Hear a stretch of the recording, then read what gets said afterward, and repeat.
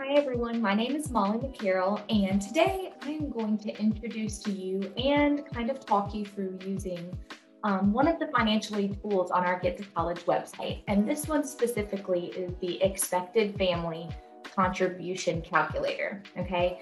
And so what this tool can do is really help you get an early start on the financial aid process by using your expected family contribution and using this calculator. And basically, this tool can kind of help you understand what a college might expect for you as a student or for your family to contribute to the cost of college. And that can kind of help you in the process of figuring out hey, you know, how much money will we have to put forward? What scholarships do I maybe need to look at as a student? Um, and so that kind of gives you a plan on kind of how to prepare for college and pay for it. Um, now, this is kind of only an approximate um, expected family contribution for you um, because this is calculated um, federally for the expected family contribution when you file your FAFSA. Um, and so when you're starting that college process, you'll eventually file your FAFSA, and that is kind of what they use um, to determine how much your family might have to pay towards college. Okay, so let's start on the website. When you're here, you're going to go to student and families you'll go down to calculators. You'll see three different types and the one that we're going to choose is EFC calculator. So we'll click here.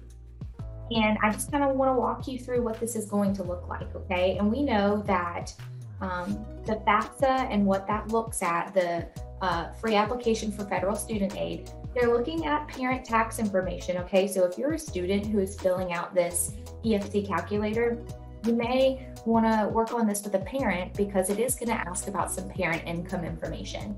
Now, we are using right now the 2021 and 2022 school year information.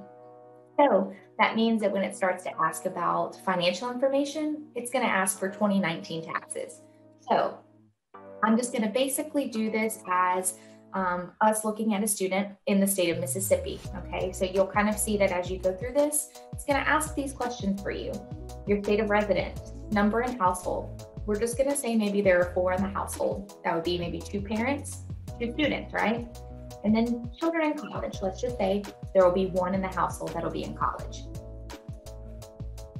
All right, now this you can see is going to be the parent's contribution. Okay, so this is asking for parent information. Okay, so if you're a student who has, you know, two parents in the household, let's say we're going to be looking at that right now. So it's to ask for the age of the oldest parent. Let's just say 53. And then their adjusted gross income. So that's going to be that income combined, right? So we're going to just say today, 65,000. All right. And then when we go from there, it's going to ask about income tax paid. Now, these little um, information, little toggles right here are going to be super helpful for you because you can click on this and you can see what it's looking for.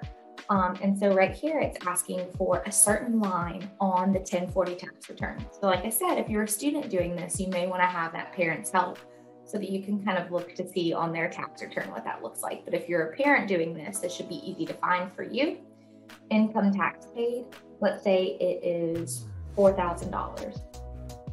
And then, um, of course, we're going to divide the income based on parent one income and parent two, their wages, salaries, and tips. Okay. So let's say we're going to do 46,500 for parent one. And then for parent two, we're just going to do the difference.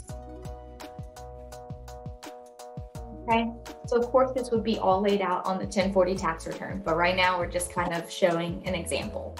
65,000, 46,500, 18,500. And income and benefits. This is going to basically ask if you know maybe there are um, workers' compensation or disability benefits or child support that a parent pays or receives. That's where that information would go. And then cash and investments. Okay, this could be um, what's included in a parent's checking or savings plans or accounts.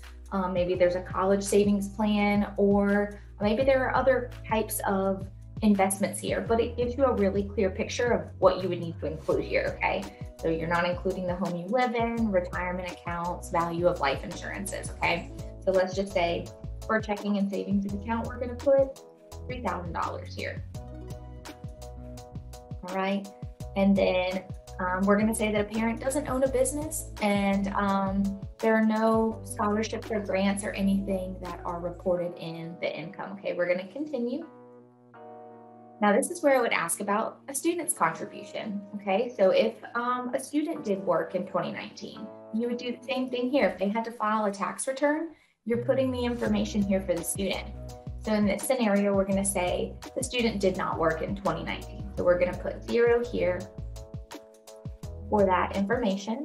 And then let's say for cash and investments, let's say the student has 500 in savings. Okay. All right. So then what it will do is it'll give you an expected family contribution. And so basically you can see for this specific family, $4,787 is the expected family contribution. And you could even click here to see how is your expected family contribution used by college. The difference between the cost of college and the EFC determines the student's eligibility for need-based financial aid. Um, and so this just kind of gives you a, a picture of, of what the, the FAFSA and what the college is kind of looking at for uh, family contribution when it comes to college. And so when you see these kind of numbers and see how much your EFC is when you're filing FAFSA, gives you a really good idea of, of what you really need to look for um, beyond that when it comes to other grant opportunities, maybe through Mississippi Financial Aid or scholarships from the college. And so this tool can be very helpful for you as you go through that process of really trying to plan, prepare, and pay for college.